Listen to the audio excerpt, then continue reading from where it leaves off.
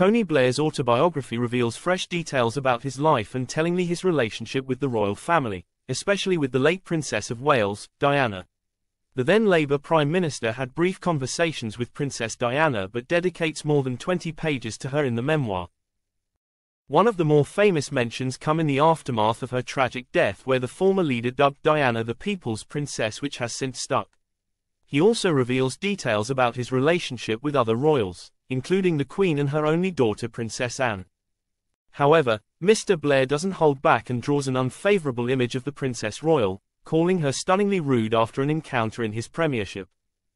He says Princess Anne was indifferent to him and hated his government for enacting the fox hunting ban. He described the Princess Royal as being a chip off the old block of her father Prince Philip, who doesn't give a damn what people think of him.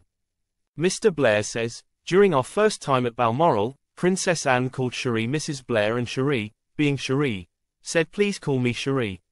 Actually I prefer Mrs. Blair, Anne replied. At one level, it is stunningly rude and discordant in our democratic age. Readers may take the account with a pinch of salt considering other anecdotes by the former Prime Minister have been debunked.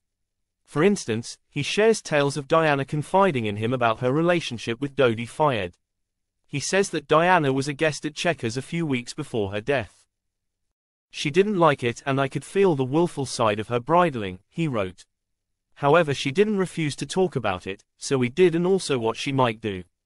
But at the time, Diana hadn't yet met Mr. Fayed nor had a romance with him, so the dates don't match up to the account.